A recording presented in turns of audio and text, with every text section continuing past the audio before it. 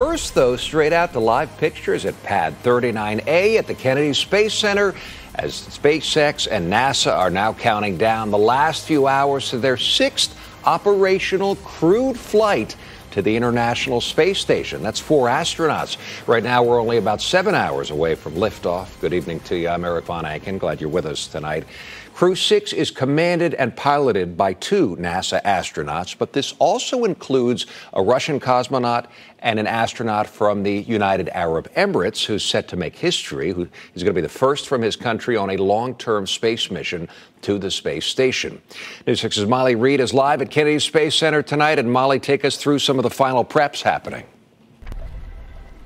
Well, everything is as of a go right now. We're just over seven hours away, as you were saying, for that launch time at 1:45 a.m. And SpaceX and NASA are saying all systems go right now after some final checks and balances that they wanted to do. Now, earlier this week, we did get to know those astronauts a little bit better, as you were saying, Erik. It's a pretty diverse crew. We have NASA astronauts Stephen Bowen and Woody Hoburg, UAE astronaut Sultan Al Neyadi, and cosmonaut Andrei Fedyaev. They're going to the International Space Station where they'll be staying there for six months conducting over 200 science experiments.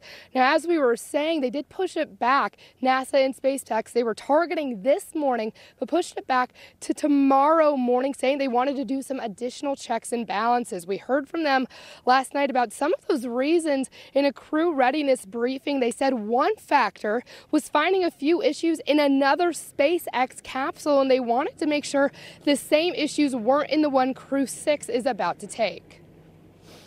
In the ECLSS, there was a, a crack uh, discovered around some ducting um, on that on that vehicle. This is kind of think of it as an inlet duct to your air conditioner, and so in the ECLSS there was a, a tiny set of cracks, and we wanted to take a little extra time to go through that.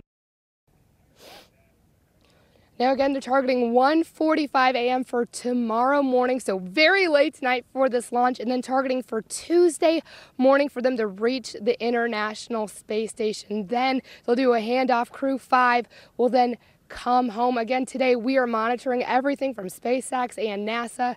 As you can see, the weather is perfect. Everything is all systems go right now. Erik. Very late tonight, Molly, or very early if you like getting up early. Thank you very much. We're going to be checking in with you again throughout the night.